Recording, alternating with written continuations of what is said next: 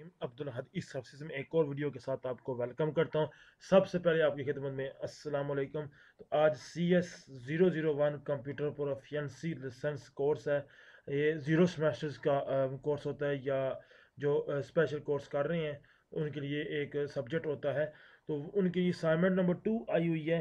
तो आपने इंस्ट्रक्शंस आपको मैं बता देता हूँ कि ड्यू डेट के बाद आप जमा नहीं करवानी सबमिट नहीं करवानी सबमिट एम एस वर्ड में ही करवानी है जो ये सॉफ्टवेयर जिसमें आप ओपन की हुई है सबमिट करेंगे, उसी सॉफ्टवेयर में ही आपने सबमिट करवानी है। ठीक हो गया? और कोशिश करनी है अपनी यूनिक बनानी है, अपनी डिफरेंट बनानी है, बाकी तमाम स्टूडेंट से।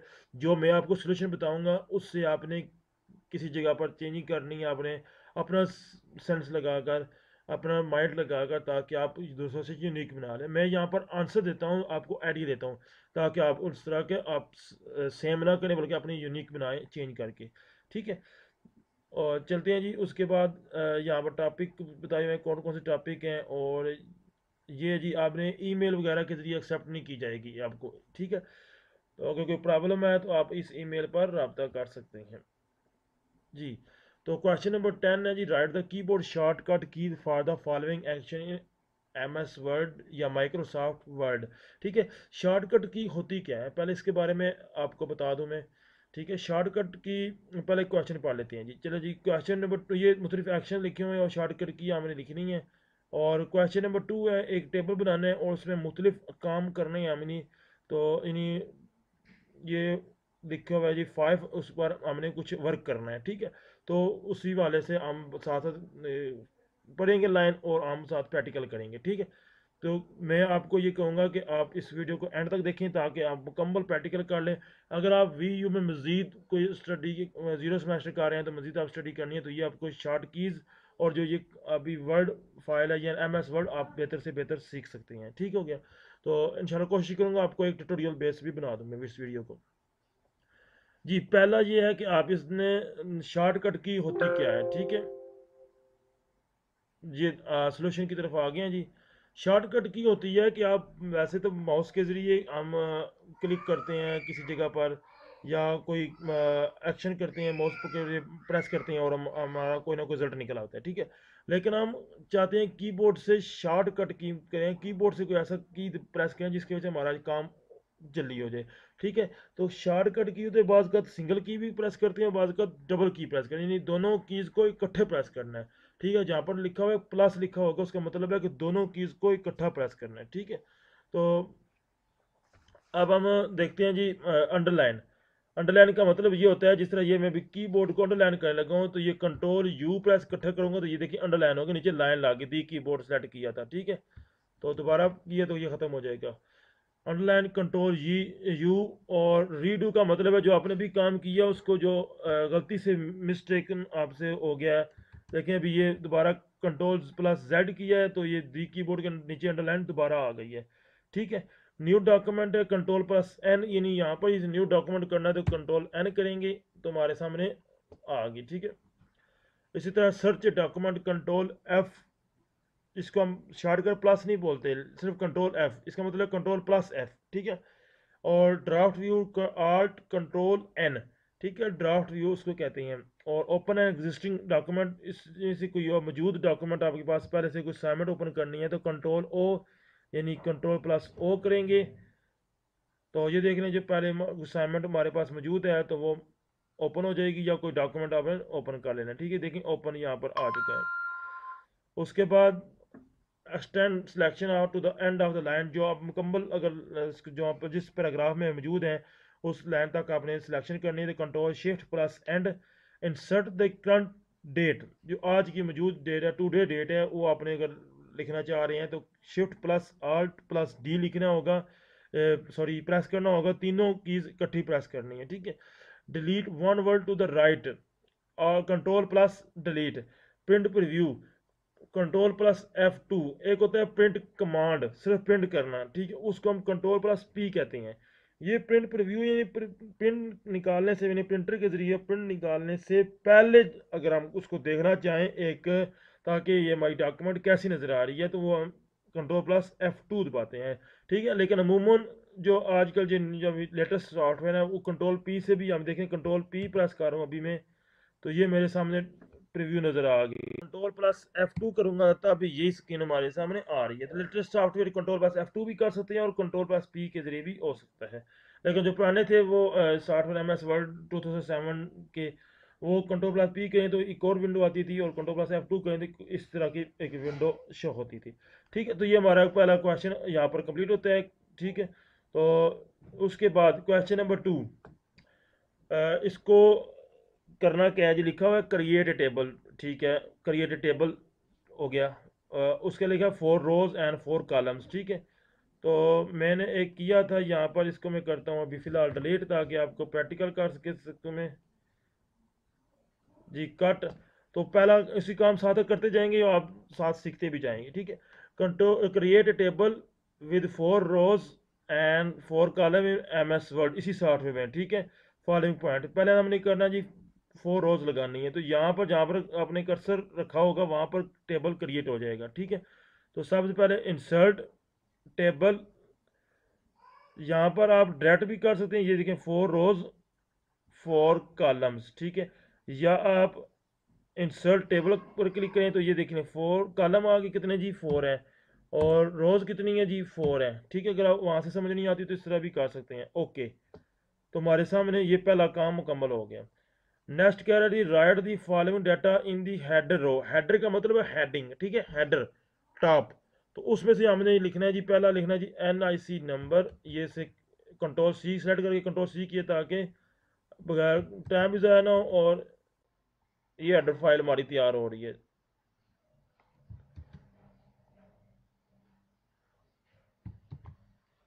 जी नेक्स्ट जी, ये हमारा पहला काम हो गया जी।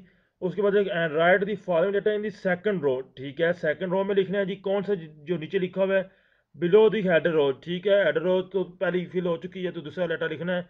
तो मैं पहला लिख कर यहाँ से देखें सेलेक्ट कर लिया कंट्रोल सी और यहाँ का ये दूसरी रो है जी। यहाँ पर इसे कंट्रोल वी कर दिया, ठीक है? ये यहाँ पर आ जाता है क्योंकि साथ वहाँ बुलेट्स लगे हो तो आपने यहाँ पर आकर बैक स्पेस करना है, और ये डिलीट हो जाएगा, ठीक है? वापस आ जाएगा। दो दफ़ा प्रेस करना होगा। ठीक है, एक दूसरा भी प्रैक्टिकल यहाँ पर कर देता हूँ आपको। ये यहाँ से कंट्रोल सी हो गया और यहाँ आकर वी किया कंट्रोल प्लस वी किया और बैक स्पेस कर लिया ताकि ये हो जाए, ठीक है? ये डाटा हमारा ये फिल हो गया दूसरी लाइन में भी।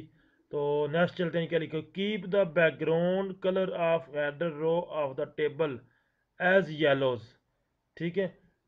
एक काम ये हो गया दूसरा काम which do not apply background colour of the rest of the rows यानी सिर्फ़ और सिर्फ़ आपने हेडर रो है उसको येलो करना है बैकग्राउंड कलर के साथ ठीक है उसका बैकग्राउंड कलर कौन सा लगना है येलो कलर सिर्फ़ हेडर जो रो होगी हेडर में जो टॉप रो इसको आपने यहाँ पर करना है आपने बिल्कुल राइट साइड पर लेफ़्ट साइड पर जब ये एरो बन जाता है ब्लैक एरो ये देखें तो आपने डबल क्लिक करना है ठीक है डबल क्लिक करेंगे तो ये पूरी लाइन सेलेक्ट हो जाएगी अब अपने जाना टेबल लेआउट के डिज़ाइन में और फिर शेडिंग में और यहाँ से येलो कलर सेलेक्ट कर लेना है।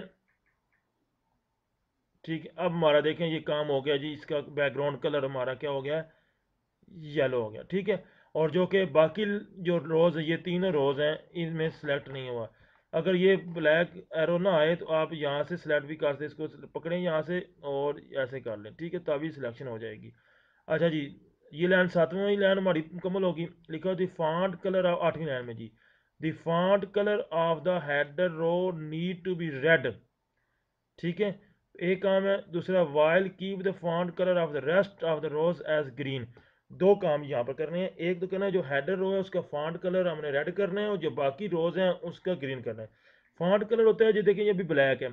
अब जो वर्ड्स नज़र आ रहा है वर्ड जो लफ्ज़ ना जो पेंसिल का कलर होगा वो होगा फॉन्ट कलर ठीक है? आपकी जो पेंसिल है, आपके पास कलर होगा, वो उसके कहेंगे फॉन्ट कलर ठीक है? तो हमने करना जी हेडर को करना है सॉरी रेड करना है, ठीक है? तो हेडर को दोबारा उसी से सेलेक्ट कर लेंगे जी, ये सिलेक्शन होगी, और देखेंगे ये फॉन्ट कलर हमारे पास शोर है, नहीं, ये शोर है जी, ये फॉन्ट कलर है। इसको हमने करना है रेड ठीक है? जी, ये रेड ये है जी, ठीक है? अब हो गया रेड हमारा ये आ गया, ठीक है।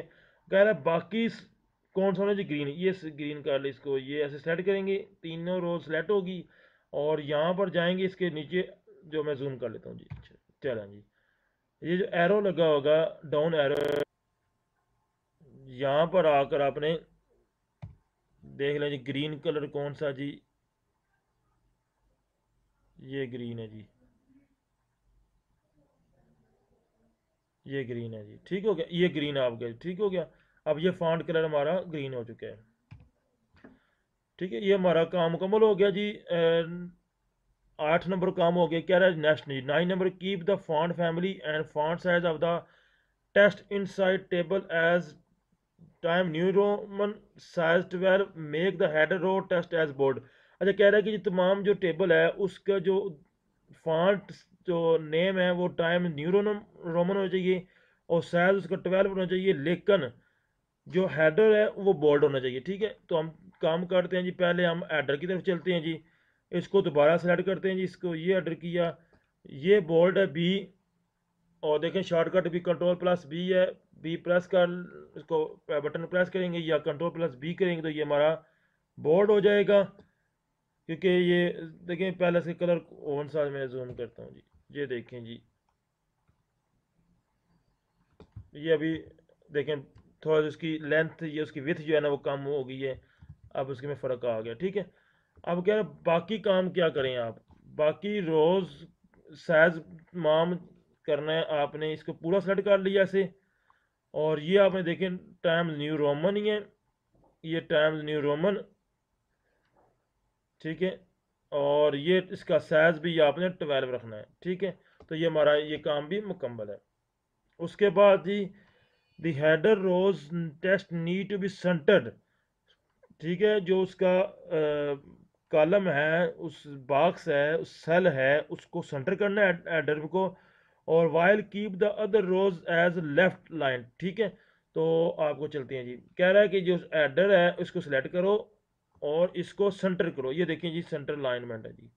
देख लें जी, इसको पढ़ लें आप सेंटर लाइनमेंट इसको हमने कर लिया सेंटर में, और बाकी क्या रहा है, इसको सिलेक्ट करके इस बाकी रोज को आप लेफ़्ट में चले जाएँ। ये देखिए लेफ़्ट अलाइनमेंट ये लेफ़्ट अलाइनमेंट है, ठीक है? कर लाइन लेफ़्ट तो इसको लेफ़्ट पहले से लेफ़्ट मौजूद था तो कोई चेंज नहीं हुई।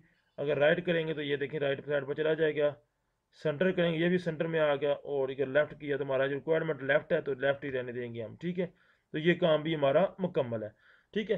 तो उम्मीद है ये आप सारा, आपको समझ आ जाएगी आप प्रैक्टिकल करें, मैं बार बार रिकमेंड कर रहा हूँ आपको कि प्रैक्टिकल लाजमी करें, ठीक है? आपको समझ आएगी नेक्स्ट अगर वीडियो में कंटिन्यू करना चाहते हैं तो ये आपके लिए बहुत ही ज़्यादा ज़रूरी है। तो मिलते हैं जी आप उम्मीद है आपको अच्छी शामत समझ आ चुकी होगी।